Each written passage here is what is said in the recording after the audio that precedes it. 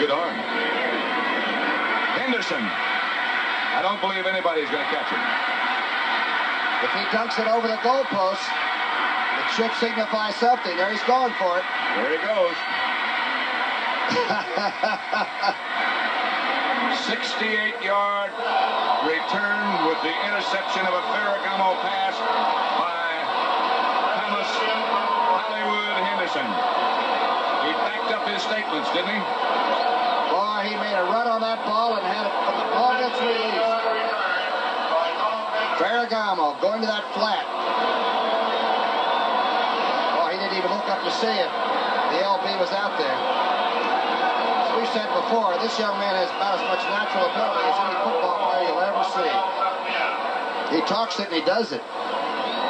Watch this move. Little jump shot right off the glass. Oh, a little finger wave there.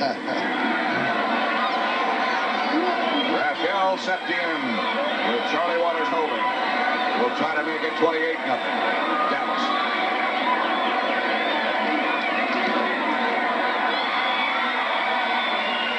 There's a serious problem on the field down behind the Ram bench with a police and a pedestrian.